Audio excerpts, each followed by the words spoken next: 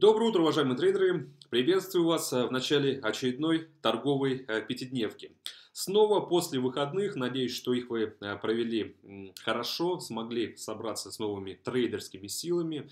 Возвращаемся после них э, и присоединяемся к старым добрым инвестиционным идеям, точнее даже продолжаем делать на них акцент, уже отталкиваясь от обновленного новостного фона.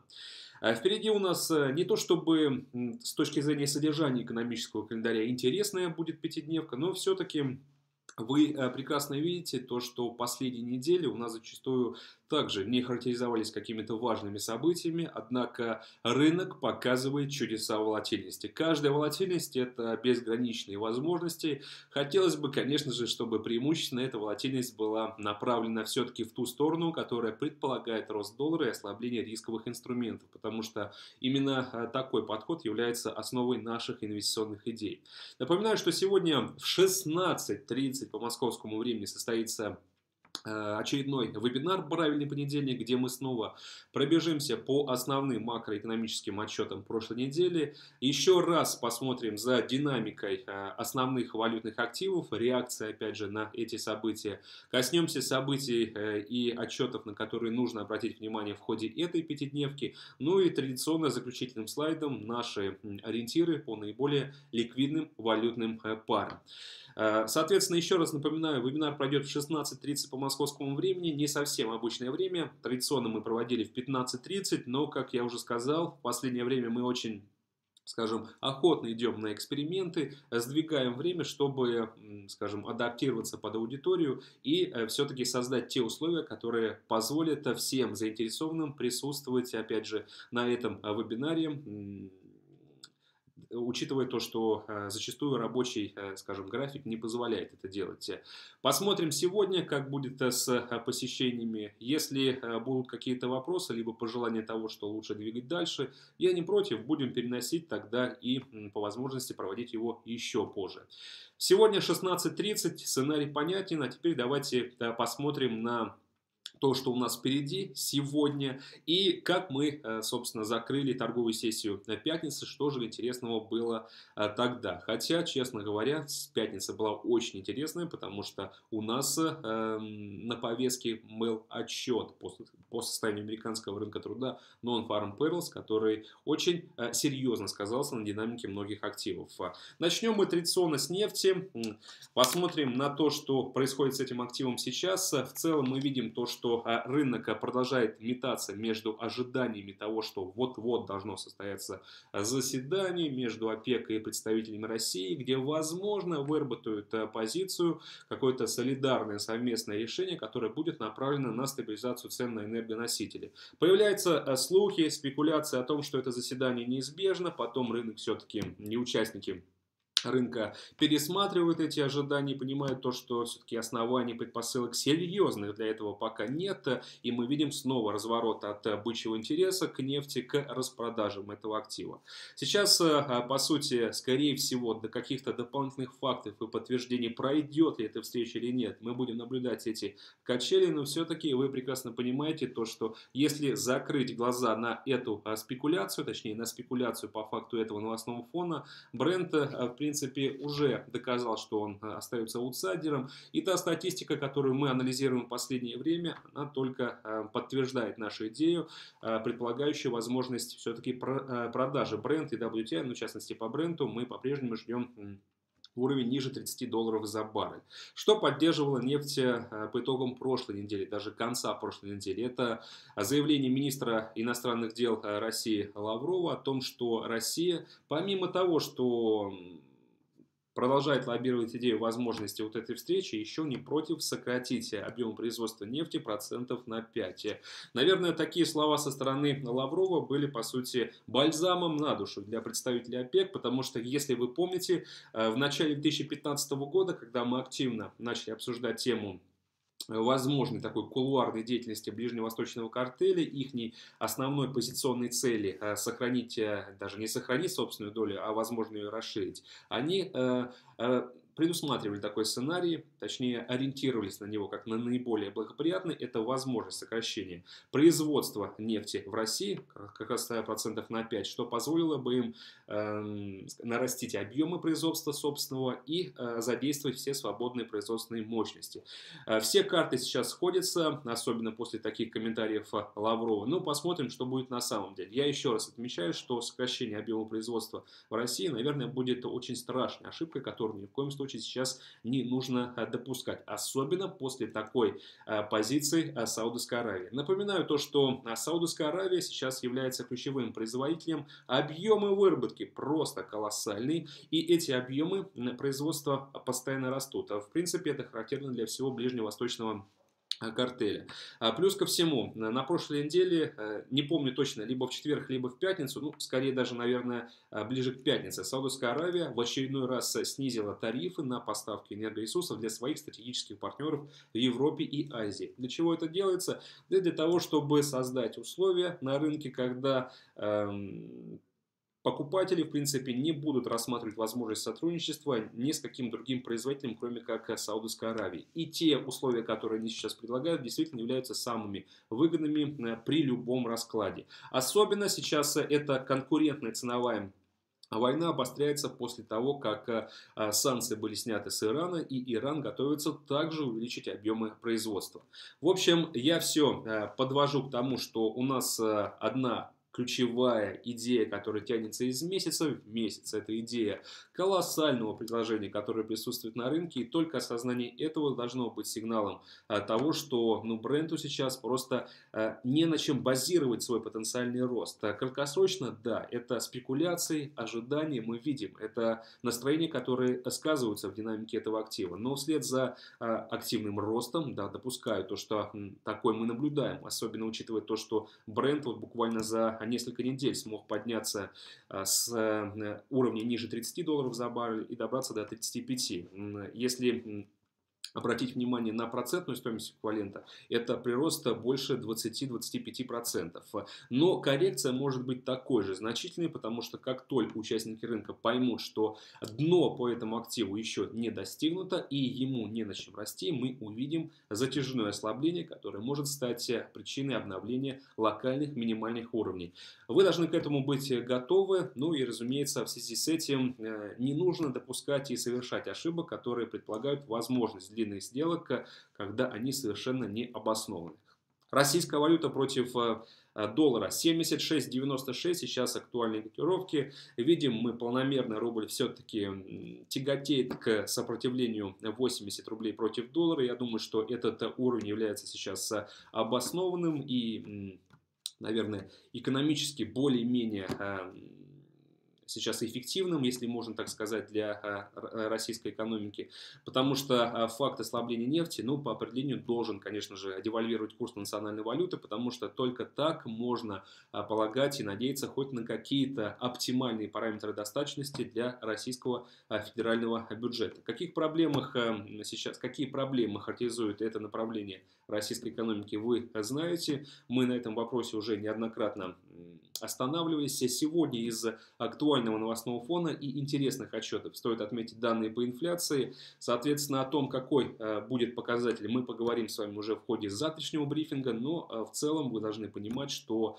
э, как этот отчет рос на протяжении последних многих недель, так, в принципе, ситуация и динамика не меняется и сейчас. Индекс потребительских цен находится под растущим таким давлением, поскольку девальвация национальной валюты логически разгоняет этот показатель. И, э, соответственно, в качестве негатива мы знаем то, что при росте цен это сказывается на потребительской активности, ну и, разумеется, позволяет нам снова возводить, скажем, на лим ту идею, которая предполагает страшное рецессионное состояние российской экономики. Поэтому ни о каком восстановлении, тем более долгосрочного рубля, сейчас речи и быть не может.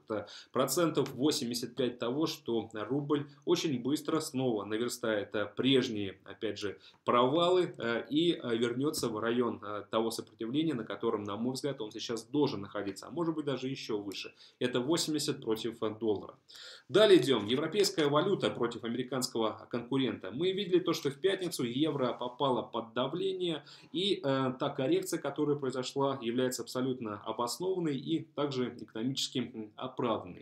Причин несколько. Во-первых, после того затяжного ралли, которое мы наблюдали э, большую часть конца прошлой недели, европейская валюта набрала очень много э, пунктов э, трейдерам была подарена локально беспрецедентная возможность того, чтобы использовать это длинное бычье ралли, чтобы занять длинные позиции и, разумеется, получить достаточный профит. Поэтому те, кто смог это сделать, я думаю, что таких немного, но такие все-таки есть. Э, предпочли просто зафиксировать результат этих затяжных э, лонгов э, в рамках недели и достаточный профит. И как только это произошло, как только на рынке стало распространяться такое явление, как фиксация длинных сделок, вы знаете, то, что это обычно провоцирует локальный технический откат. А второй фактор давления на позиции европейской валюты – это слабая статистика, в частности, производственные заказы Германии, которые были опубликованы в конце прошлой недели, отчет крайне негативный. Минус 0,7% с прошлого полутора процентов, это в месячном эквиваленте. Годовой минус 2,7% против прошлого 2,1%. Здесь контраст ну, прослеживается самым лучшим образом. И глядя на такой отчет по производственным заказам, я хочу, чтобы мы практически уже не сомневались в том, что э, из-за слабости ведущего сектора, ведущей экономики валютного блока, мы, скорее всего, будем наблюдать очень слабые показатели по темпам экономического восстановления, потому что иначе и быть не может. И, кстати, эти отчеты у нас э, на повестке эта неделя ВВП Германии и еврозоны. Поэтому, в принципе, можно уже готовиться к тому, что этот отчет э, не оправдает ожидания аналитиков и может стать э, причиной эм, дополнительного давления на европейскую валюту, потому что а, в случае еще одного серьезного а, фундаментального плохого сигнала со стороны национального рынка мы снова будем а, спекулировать на теме возможностей и, наверное, неизбежности расширения программы количественного смягчения, ну, либо каких-то дополнительных стимулов, возможно, даже через снижение процентной ставки, хотя снижение процентной ставки, наверное, это даже более вероятный шаг, на который может пойти ЕЦБ по итогам мартовского заседания. Ну и третий, конечно же, фактор давления на евро – это выход данных по американскому рынку труда. В частности, этот отчет можно было разделить на три подотчета. Это число новых рабочих мест вне сельскохозяйственного сектора, раз, потом уровень безработицы, два. Ну и, конечно же, третий отчет, на который я рекомендовал обратить больше внимания, это данные по росту заработных плат. По факту, вы знаете то, что число новых рабочих мест 151 тысяча против прогноза 190 тысяч. Вроде бы как несомненный негатив, но ситуацию полностью исправили и, напротив, даже создали дополнительную возможность для покупки американца. Это отчеты по уровню безработицы 4,9%. Чтобы вы понимали, это минимальное значение с 2007 года. Это лучше даже цели, которая была поставлена Федрезервом в 2008 году, когда безработица была 10%, и у них ориентир был 5%. И э, после даже последних non-farm payrolls я уже предлагал готовиться к тому, что вот этот тренд улучшения он продолжится, и он непременно, долгосрочно и даже среднесрочно, но не может не сказаться на а, росте доллара. И еще больший а, прогресс – это динамика заработных плат, потому что здесь годовой прирост 2,5%, что касается месячного 0,5%. Серьезный а, скачок, который готовит нас к тому, что параллельно будут расти расходы, розничные продажи, потребительская активность, а это все, э, вы знаете, выводит нас на более стоящие показатели по инфляции. И если мы получим подтверждение все-таки роста индекса потребительских цен, тогда прежняя мягкая риторика снова уступит дорогу жестким комментариям со стороны ФРС, которые будут направлены на все-таки э, возможности нескольких повышений процентной ставки до конца 2016 года. Это неизбежно вернет нас в длинные идеи по доллару против всех основных конкурентов. И к этому моменту важно, чтобы рынок, еще раз я повторяю и не устаю повторять, не убедил вас в обратном, потому что ошибка может быть очень, скажем, чревата неприятным и серьезным минусом по счету. Нужно ждать, хорош, искать хорошую возможность для покупки доллара и искать поддержку и возможное объяснение этого подхода, конечно же, в статистике, фундаментальных отчетах и в комментариях ФРС. Но на это мы обращаем максимум внимания и, по сути, ничего не упускаем. Спасибо пятничному отчету Non-Farm Perils. Получили мы то, что хотели в плане сигнала того, что инфляция может подрасти, а значит и ФРС может снова подарить нам возможность фундаментального характера для роста доллара. Вернемся к европейскому валютным активам.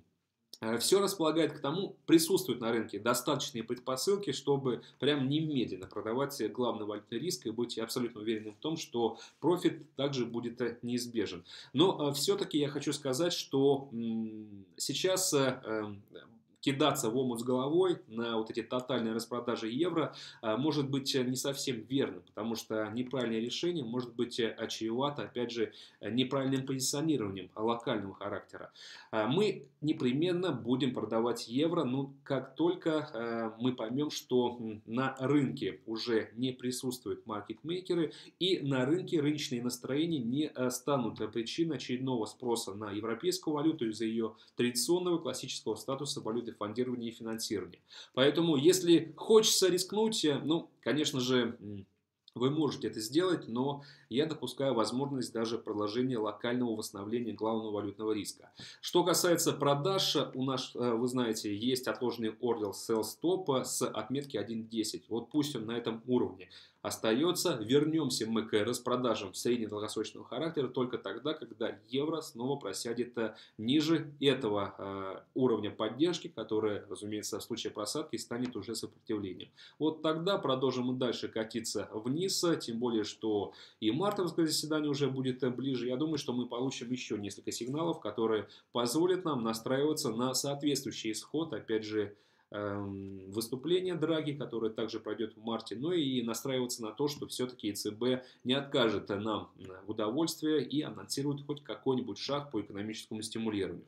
Поэтому идея остается у нас а, прежняя. Сегодня из отчетов, чтобы далеко от евро не отходить, э, коснемся только промышленного производства в 10.00 по московскому времени, вот буквально Э, через 45 э, минут. Это отчет э, по Германии.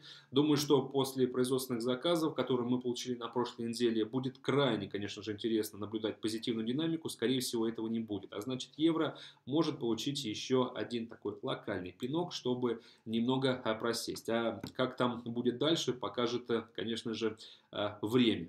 Далее идем. Фунт против доллара. По итогам прошлой торговой сессии, то есть пятницы, фунт также также был в числе аутсайдеров, потерял достаточно много. Локальные потери около 90 на пунктов. Важных отчетов в рамках торговой сессии пятницы британского происхождения опубликовано не было, поэтому те, кто а, спекулировал опять же на фунте, продолжили следить за американской статистикой и американским рынком труда.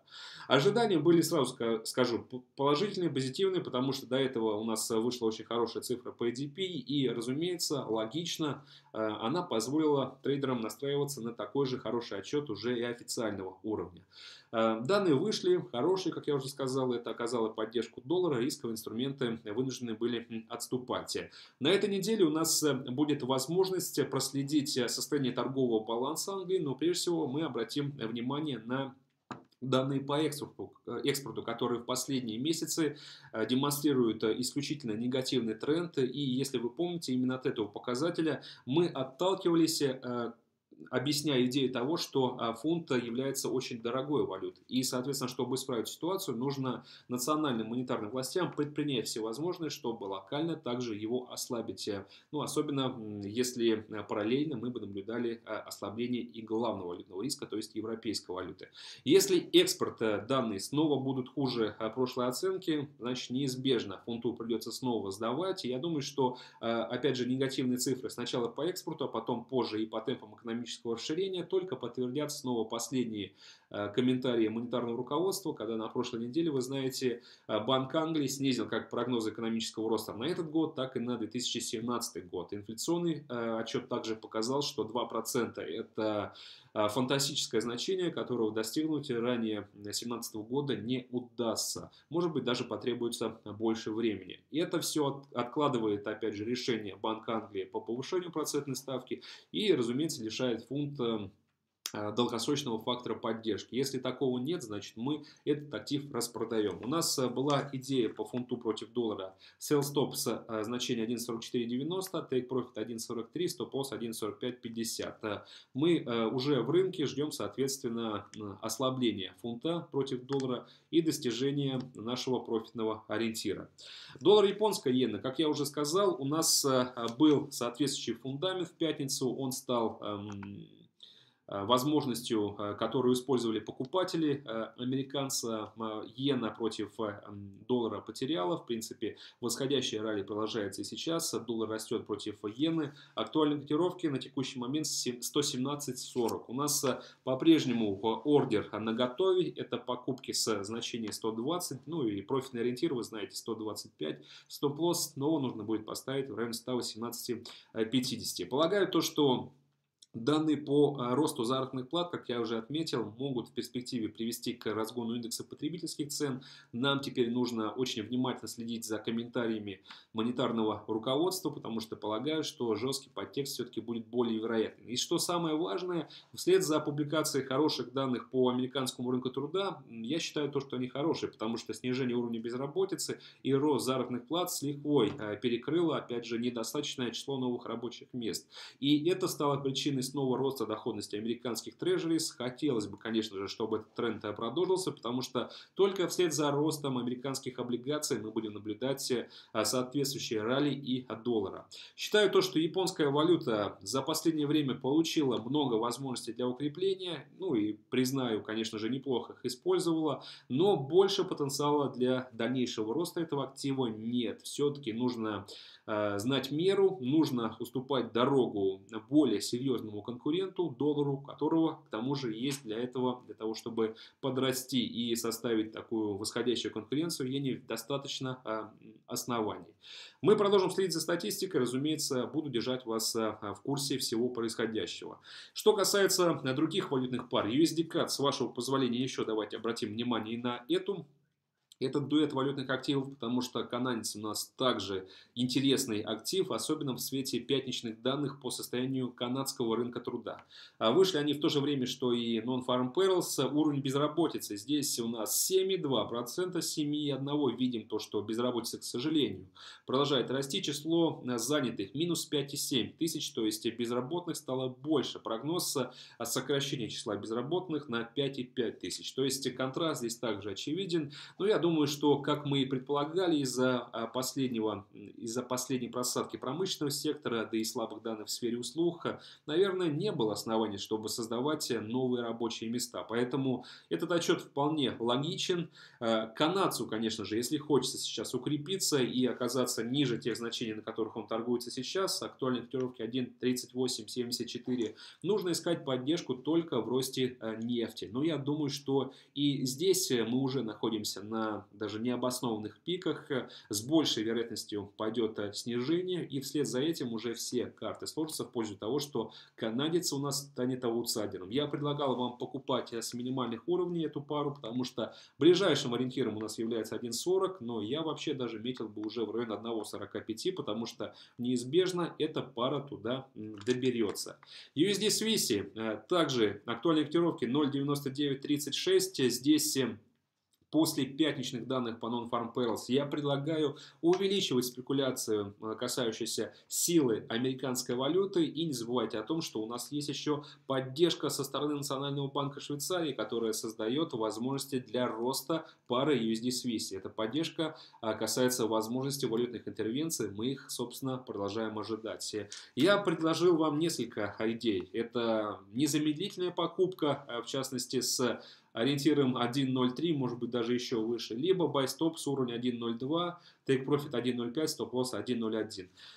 Используйте этот новостной фон как вам угодно, но я считаю то, что покупки, э, даже с текущих отметок, они могут обеспечить вас большим потенциалом профита, потому что э, основание для того, чтобы Сейчас э, а, доллар стал активно терять, э, а, соответственно, франк набирать а, нет. Тем более, что эта неделя у нас э, лунный Новый год в Китае, значит, мы не ждем какого-то негатива со стороны Поднебесной. Если не будет негатива со стороны Поднебесной, значит, и провокатора, который вернул бы трейдеров в расположение защитных активов, также пока на рынке не будет. Поэтому давайте воспользуемся этим и попробуем даже нашими усилиями подтянуть позиции американца. Из важных отчетов, как я уже отметил, сегодня понедельник, день спокойный, ну, будем так надеяться, а с точки зрения э, календаря, в 10.00 промпроизводство, ориентируемся на слабый отчет. И хочу предложить вам очередной бонус, сегодня его величина 14%, что касается э, кодового слова, это доллар. Не забывайте о том, что бонус действует на пополнение от 300 долларов и э, срок его, скажем, годности до следующего брифинга, то есть до завтрашнего утра. Поэтому большое спасибо за внимание. В 16.30 я жду вас всех на вебинаре. Будет о чем поговорить. Хорошей торговой сессии. Если есть вопросы, вы можете оставлять их на нашем официальном канале на YouTube, либо использовать форум AMarkets. Всего доброго. До свидания.